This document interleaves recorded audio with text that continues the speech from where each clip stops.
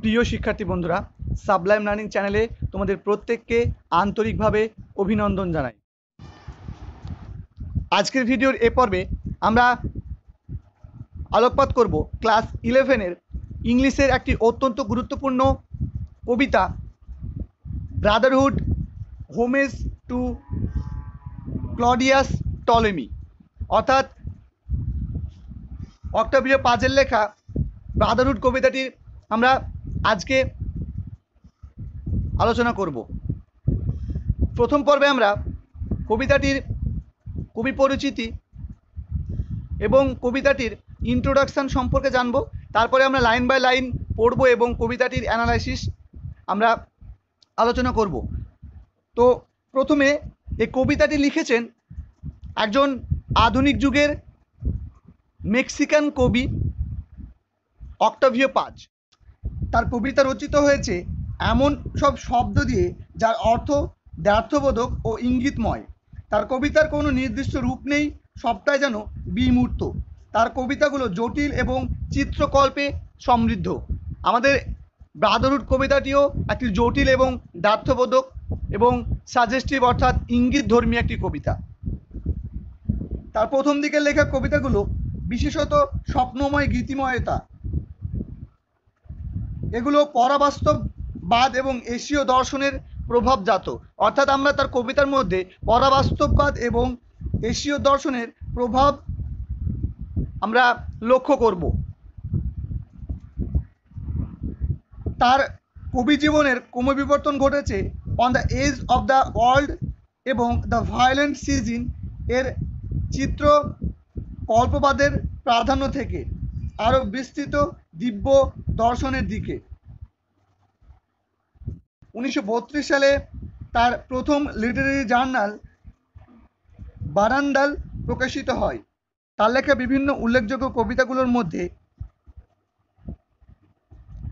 alternating current the bow on the lyre and the sun stone বিশেষভাবে গুরুত্বপূর্ণ। আমরা এবার কবিতাটির একটি জেনারেল ইন্ট্রোডাকশন নিয়ে নেব। তো ব্রাদারহুড কবিতাটি আসলে উনিশশো সাতাশি সালে স্প্যানিশ ভাষায় হারমান দা নামে রচিত হয়। পরবর্তীতে আমেরিকার বিখ্যাত প্রাবন্ধিক, সমালোচক ও অনুবাদক এলিয়ট উইনবার্গার এটিকে ইংরেজি ভাষাতে অনুবাদ করেন এবং কবিতাটির নামকরণ করেন ব্রাদারহুড ব্রাদারহুড শব্দটির সাধারণ অর্থ সৌভ্রাতৃত্ব কিন্তু এই কবিতায় শব্দটি কোথাও যেন নৈকট্য অর্থে ব্যবহৃত হয়েছে। কবিতাটি ক্লডিয়াস টলেমির প্রতি শ্রদ্ধার্ঘ। টলেমি ছিলেন একজন গ্রিক জ্যোতির্বিদ এবং ভূগোলবিদ। তিনি মিশরের আলেকজান্দ্রিয়ার গ্রন্থাগারে কাজ করতেন। তার প্রধান জ্যোতির্ম জ্যোতির্বিদ্যা বিষয়ক গ্রন্থ আলমাজেস্ট হল ভূকেন্দ্রীয় জগতে তারা ও গ্রহদের আপাত গতি সম্পর্কীয় গাণিতিক তথ্য। তার জিওগ্রাফি, যা থেকে বিশ্ব মানচিত্রের দিশা পাওয়া যায়, নবজাগরণের সময়কাল পর্যন্ত, তাই ছিল বিশ্বস্ত পাঠ্যবস্তু। এই শ্রদ্ধাঞ্জলি বোঝায় যে, ব্রাদারহুড কবিতাটি মহাবিশ্বে বিদ্যমান ছন্দবদ্ধ সমন্বয়ের সন্ধান বিষয়ক। কবিতাটির শিরোনাম নির্দেশ করে সম্পর্কে সেই সূত্রকে যা সব কিছুকে ওতপ্রোতভাবে বেঁধে রাখে। আমরা যখন কবিতাটি পড়ব কবিতাটি পড়ার পরে আমরা বুঝতে পারব এই কবিতাটির যে বিষয়বস্তু সেই বিষয়বস্তু যেন কোথাও বিষয়বস্তুর সঙ্গে কোথাও যেন রবীন্দ্র ঠাকুরের একটি অত্যন্ত জনপ্রিয় রবীন্দ্রসঙ্গীত আকাশ ভরা সূর্য তারা বিশ্বভরা প্রাণ গানটির সঙ্গে তুলনীয়। অর্থাৎ আমরা এই কবিতাটির বিষয়বস্তুর সঙ্গে রবীন্দ্রনাথের একটা জনপ্রিয় রবীন্দ্রসঙ্গীত। আকাশ ভরা সূর্য তারা বিশ্বভরা প্রাণ এই গানটির সঙ্গে আমরা গানটির বিষয়বস্তুর সঙ্গে আমরা কোথাও যেন একটা মিল খুঁজে পাবো। যাই হোক আমরা তাই জাগে জাগে আমার ভরা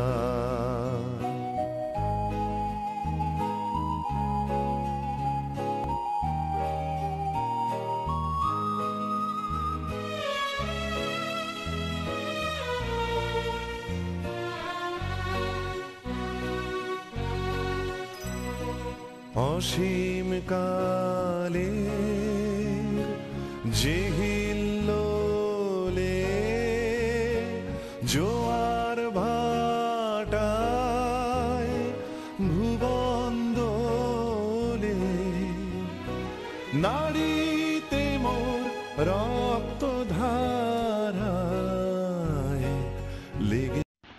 এবার আমরা কবিতাটি লাইন বাই লাইন পড়ব এবং তার লিটারাল মিনিংটা বোঝার চেষ্টা করব। আই অ্যাম এ ম্যান আমি একজন মানুষ লিটিল ডু আই লাস্ট আমার আয়ুষ্কাল খুবই ক্ষণস্থায়ী। And the night is enormous এবং রাত্রিটা বিশাল, বিপুল। বাট আই লুক আপ কিন্তু আমি উপরে তাকালাম। দ্য স্টার্স রাইট তারারা লেখে। আননোয়িং আই আন্ডারস্ট্যান্ড না জেনেও আমি বুঝতে পারলাম। আই টু অ্যাম রিটেন আমিও লিখিত হয়েছি। And at this very moment এবং এই মুহূর্তে সামন স্পেলস মি আউট এবং এই বিশেষ মুহূর্তে কেউ একজন আমাকে সঠিকভাবে ব্যাখ্যা করতে বা বুঝতে পারবে। অর্থাৎ কবিতাটি যখন আমরা অ্যানালাইসিস করব, তখন আমরা কবিতাটির অ্যাকচুয়াল মিনিংটা বুঝতে পারব। অর্থাৎ আসলে কবিতাটি অক্টাভিও পাজের একটি বিখ্যাত এবং পপুলার কবিতা। এই কবিতাটি যেন একটা স্বতন্ত্র এবং আনডিনায়েবল একটা সম্পর্ককে যেন প্রকাশ করছে। যে সম্পর্কটা আমাদের প্রত্যেকের সঙ্গে একটা ইউনিভার্স অর্থাৎ আমাদের বিশ্ব ব্রহ্মাণ্ডের সঙ্গে প্রত্যেকের, আমাদের প্রত্যেকের যে একটা বন্ধন আছে, যে একটা সম্পর্ক আছে, সেই সম্পর্কটাকে তিনি কিন্তু এই কবিতার মাধ্যমে প্রকাশ করার চেষ্টা করেছেন। অর্থাৎ এই বিশ্ব ব্রহ্মাণ্ড এবং মানব জাতির মধ্যে বা হিউম্যান বিইংসের মধ্যে যে একটা বন্ধন আছে সেই বন্ধনটাকে কিন্তু তিনি এই কবিতার মাধ্যমে তীব্রভাবে প্রকাশ করার চেষ্টা করেছেন। আর এই বন্ধনটা যেন সৃষ্টি এবং পরিচালিত হয় কোনো একটি অদৃশ্য শক্তি দ্বারা।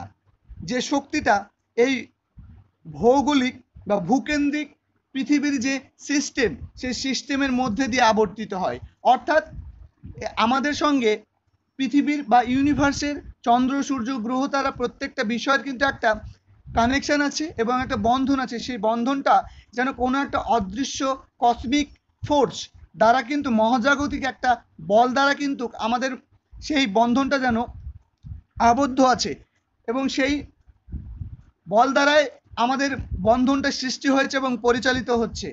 যার মাধ্যমে কিন্তু আমাদের ভৌগোলিক সিস্টেম অর্থাৎ ভৌগোলিক যে বিষয়গুলো ঘটে, দিন থেকে রাত, রাত্রি থেকে আবার দিন, সমস্ত কিছু ঘটে, তার মধ্যে কিন্তু আমাদের জীবনে জন্ম, মৃত্যু সমস্ত কিছু, সমস্ত কিছুই কিন্তু ঘটে কোনো একটি অদৃশ্য মহাজাগতিক শক্তি দ্বারা। এটা কিন্তু তিনি এই কবিতাটির প্রথম দু লাইনের মধ্যে দিয়ে তিনি আমাদেরকে বোঝানোর চেষ্টা করেছেন। আসলে ব্রাদারহুড কবিতাটি আট লাইনের একটি অত্যন্ত ছোট কবিতা, কিন্তু এর যে গুরুত্ব, এর যে দার্শনিক ভাবনা বা এই কবিতাটির যে গীতিময়তা, সেটা কিন্তু অনেক বিপুল। এই কবিতার মধ্যে দিয়ে কবি তার একটা ভাবনাকে প্রকাশ করেছেন যা কিন্তু আমাদের পৃথিবীতে, আমাদের মানব জগতের সঙ্গে বা মানব জাতির সঙ্গে যে পৃথিবীর একটা যোগসূত্র আছে, সেই যোগসূত্রটাকে তিনি কিন্তু এই কবিতার মধ্যে দিয়ে তিনি আমাদের সামনে ফুটিয়ে তুলেছেন। কবিতাটি তিনি শুরু করেছেন আই দিয়ে, অর্থাৎ আই বলতে তিনি কিন্তু কবিতাতে নিজেকে বুঝিয়েছেন। অর্থাৎ তিনি তার নিজের থিঙ্কিং বা নিজের থট নিজের ভাবনাটাকে তিনি কিন্তু এই কবিতার মধ্যে দিয়ে প্রকাশ করেছেন। তিনি বলেছেন আই এম এ ম্যান আমি একজন মানুষ। এটাই তার একমাত্র আইডেন্টিটি এই পৃথিবীতে। অর্থাৎ এই পৃথিবীতে তার সবচেয়ে বড় পরিচয় হলো এটা যে তিনি হলেন একজন মানুষ। তিনি জানেন যে এই পৃথিবীতে জীবন হচ্ছে একটা ছোট্ট এবং একটা ক্ষণস্থায়ী বিষয় মাত্র। মৃত্যু যেন অপেক্ষা করছে সামনে।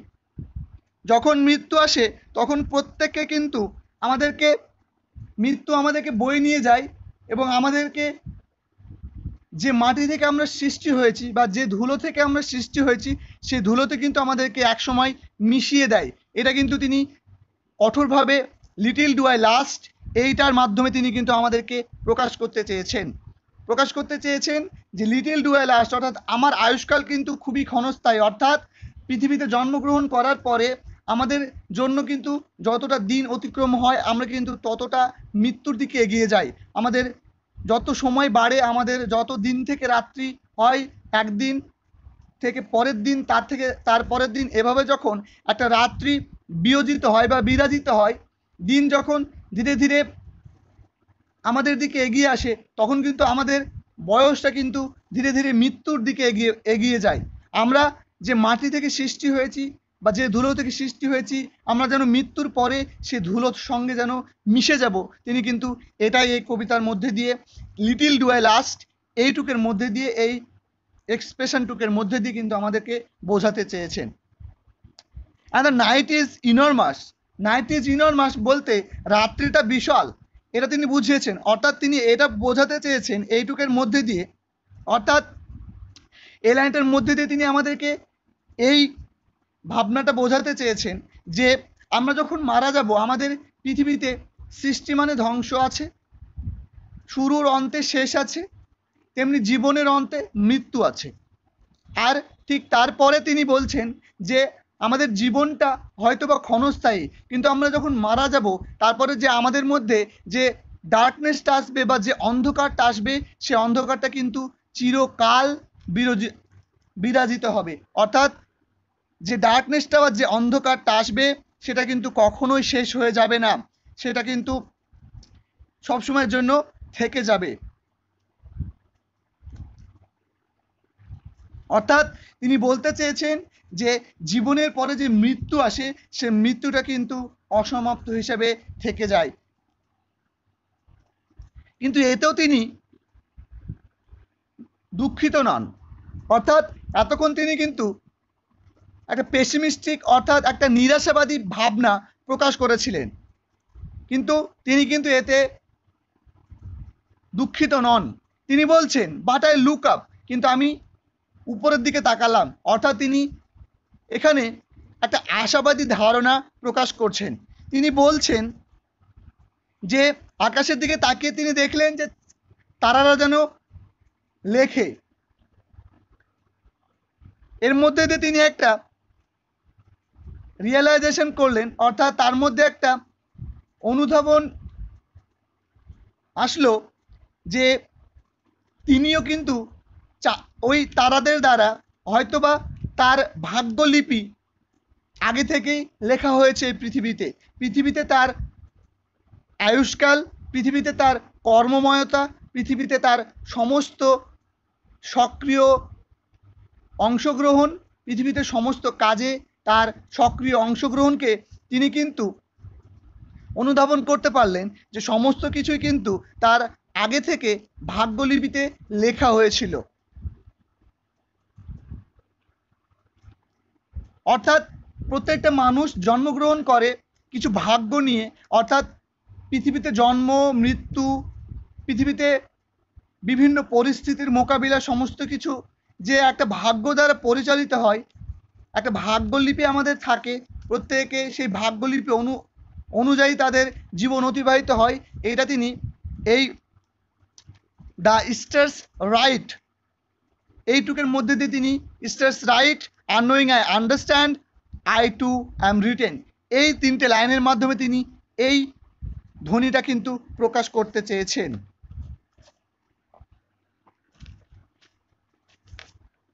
তারপরে তিনি একটা আশাবাদী ধারণা প্রকাশ করছেন যে তিনি যেহেতু একজন কবি, তিনি তিনি সৃষ্টি করেন বিভিন্ন রচনা, বিভিন্ন থট বিভিন্ন ধারণা তিনি সৃষ্টি করেন।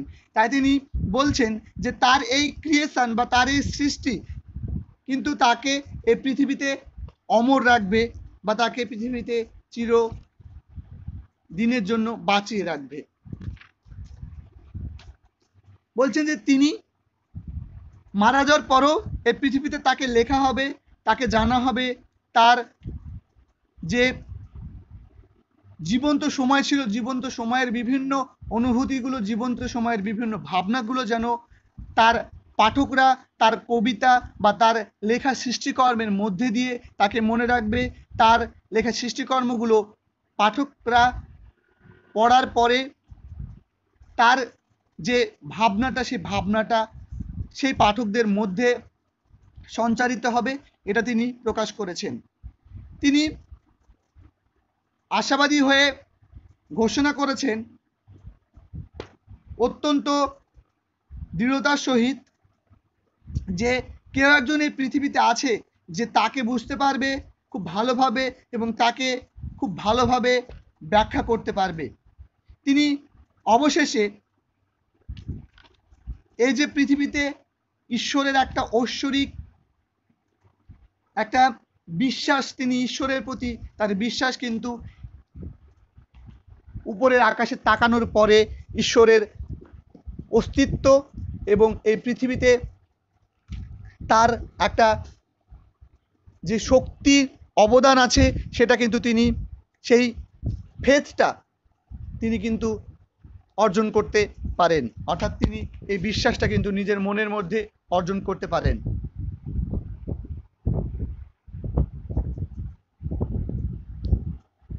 তিনি এটা ভেবে আনন্দ পান যে পাঠকের হৃদয়ে তিনি বেঁচে থাকবেন, একজন স্রষ্টা বা শিল্পী হিসাবে। আবার সকল সীমাবদ্ধতা থাকা সত্ত্বেও তিনি ঈশ্বরের সঙ্গে পরিপূর্ণ সংযোগ উপলব্ধি করবেন। ঈশ্বর সকলকে বুঝতে পারেন, এই দৃঢ় বিশ্বাসী কবিকে আশাবাদী করে তুলেছেন।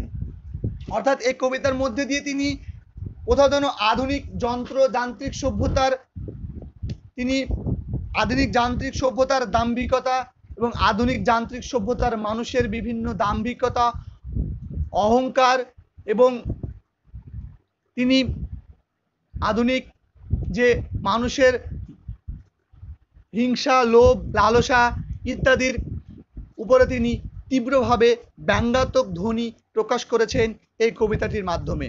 অর্থাৎ কবিতাটি একটি আধুনিক যুগের যুগোপযোগী কবিতা। তার এই কবিতার মধ্যে দিয়ে একটা দার্শনিক চিন্তা ভাবনা প্রকাশ পেয়েছে।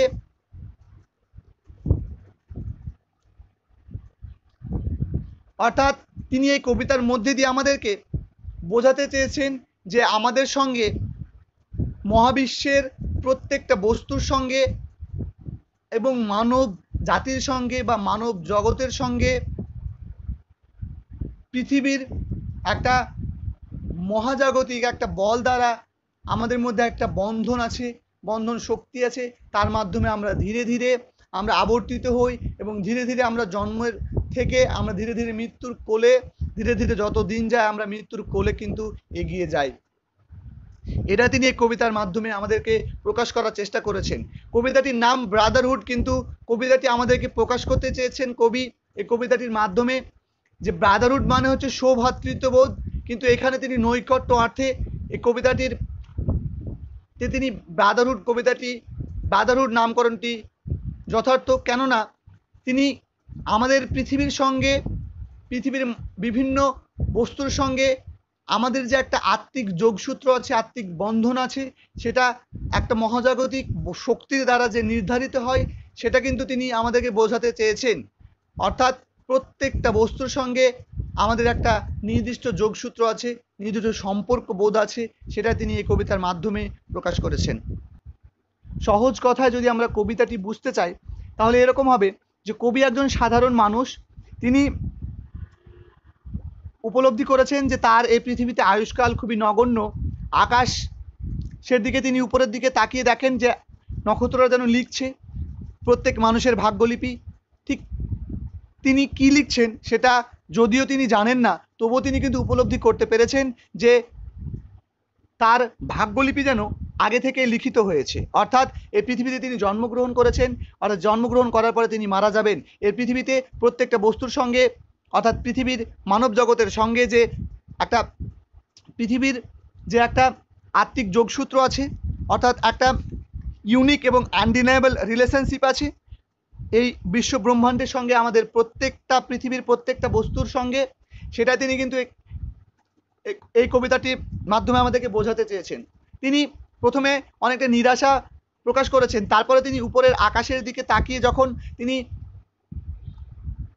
তারাদের লেখা দেখে এবং নিজের যে ভাগ্যলিপিও লেখা হয়েছে তিনি সেটা অনুধাবন করেন, তারপর তিনি হঠাৎই আবার আশাবাদী হয়ে ওঠেন যে তিনি যেহেতু একজন কবি তিনি যেহেতু বিভিন্ন রকমের সৃষ্টি করেন, বিভিন্ন রকম তার সৃষ্টি আছে, সে সমস্ত ক্রিয়েশন বা সৃষ্টির মধ্যে দিয়ে তিনি যে পাঠক মহলের কাছে, এই পৃথিবীর মানুষদের কাছে তিনি পরিচিত থাকবেন, তার যে ধারণা, যাদের থিঙ্কিং প্যাটার্ন তিনি যে একটা ভাবনা এই পৃথিবীতে দিয়ে গেছেন, সেই ভাবনাটা যে তার পাঠক, পাঠকরা তার কবিতা পড়ার পরে বা তার বিভিন্ন সৃষ্টিকর্মগুলো পড়ার পরে বুঝতে পারবে এবং তার সেই ভাবনাগুলো, ধারণাগুলো যে পাঠক মহলের মধ্যে প্রবেশ করবে, পাঠকের জ্ঞানকে সমৃদ্ধ করবে এবং তার মধ্যে দিয়ে তিনি যে পৃথিবীতে বেঁচে থাকবেন, চিরকাল সেটা তিনি কিন্তু পরবর্তীতে আশাবাদী হয়েছেন এবং তিনি সব শেষের লাইনে বলেছেন যে সামন স্পেলস মি আউট।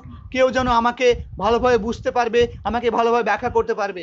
অর্থাৎ তিনি বলতে চেয়েছেন যে অবশেষে কিন্তু তিনি যে এই প্রকৃতিতে, পৃথিবীতে, পৃথিবীর যে এক্সিস্টেন্স অর্থাৎ পৃথিবীর যে অস্তিত্ব সেই অস্তিত্বটা তিনি কিন্তু বুঝতে পেরেছেন এবং যে ঐশ্বর ঈশ্বরের, ঈশ্বর যে কোনো একটা ঐশ্বরিক শক্তি যে পৃথিবীর বুকে বিরাজমান, সেটাও কিন্তু তিনি বুঝতে পেরেছেন। আসলে তিনি কবিতাটির মাধ্যমে আমাদের আধুনিক সভ্যতার মানুষের দাম্ভিকতার বিরুদ্ধে একটা ব্যঙ্গাত্মক ধ্বনি প্রতিধ্বনিত করেছেন। সবশেষে আমরা এ কথাটি বলতে পারি যে ব্রাদারহুড কবিতাটি মানুষের অস্তিত্বের সংকট ও মহাবিশ্বের বিপুল আয়তনের সাপেক্ষে ব্যক্তির গুরুত্বহীনতা সম্পর্কে পাজের নিজস্ব উপলব্ধিকে তুলে ধরে। অর্থাৎ পৃথিবীতে ব্যক্তির যে গুরুত্বটা অতি নগণ্য এই মহাবিশ্বের সাপেক্ষে, সেটাই তিনি এই কবিতার মধ্যে দিয়ে সুরধ্বনিত করেছেন। অর্থাৎ আমরা পৃথিবীতে জন্মগ্রহণ করার পরে এই পৃথিবীতে প্রতিনিয়ত দিন, রাত একজন জন্মগ্রহণ করছে, মারা যাচ্ছে, এই যে বিষয়টা কনস্ট্যান্ট ঘটে যাচ্ছে, এর এর উপরে যে একজন, একটা ঐশ্বরিক একটা শক্তি আছে, একটা ঐশ্বরিক শক্তি কাজ করছে, সেইটা কিন্তু তিনি তীব্রভাবে ধ্বনিত করার চেষ্টা করেছেন।